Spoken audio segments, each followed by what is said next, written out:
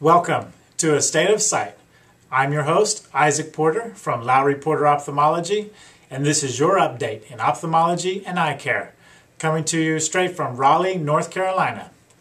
This has been a special week for Raleigh as we just finished hosting the Internet Summit 2011, where the key speaker was Gary Vaynerchuk. We want to give a big thank you to Gary for inspiring us to start this video series, A State of Sight, based on his ideas in his book, Crush It. For today, I want to explain to you astigmatism. Many people have astigmatism and don't quite understand what it is.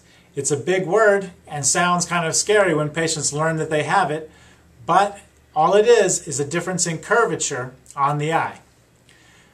To illustrate this point, I took my dog Carter, he's a greyhound, and I cut up his tennis ball. Fortunately, he doesn't like to chase it very much, but you can see if you look at it, the curvature on this half a tennis ball is the same in each direction.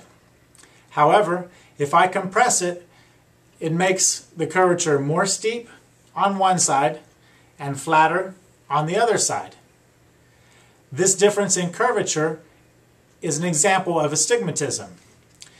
However, that's an exaggeration. In most patients that have astigmatism, the difference in curvature would only be slight.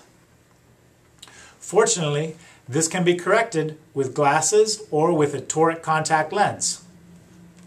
A toric lens is simply a lens that has different curvature that can correct for the difference in curvature in astigmatism.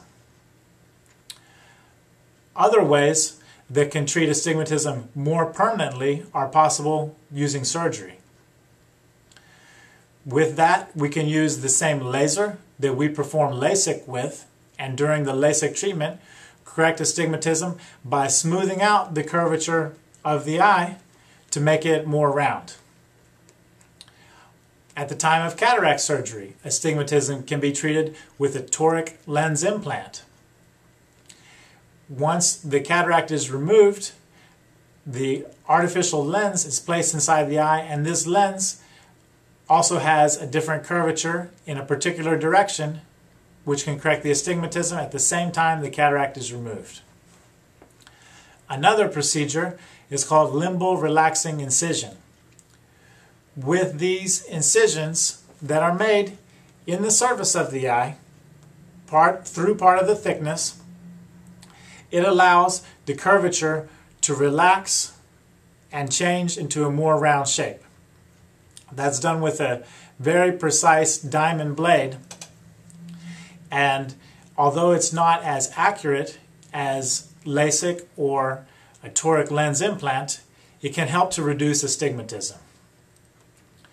So hopefully today you've learned that astigmatism is not a disease or something to be worried about, that there are many solutions to treat astigmatism. If you have astigmatism or any questions about it, please post on our Facebook. We'll be happy to have a conversation with you there. Until next time, on A State of Sight, good health and good sight.